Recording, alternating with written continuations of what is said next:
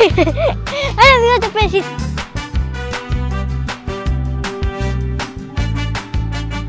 Hoy quiero contarte de un tema muy importante. Es decir, que en diferentes regiones una sola cosa. Esto a pesar de que en la mayoría de los países de América hablamos español. O sea que a veces no es tan fácil entender a alguien de un país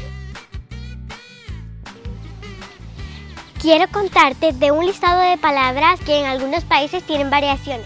Amigo.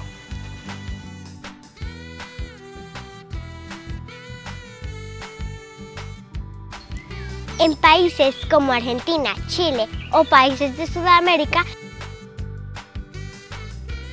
maracuyá.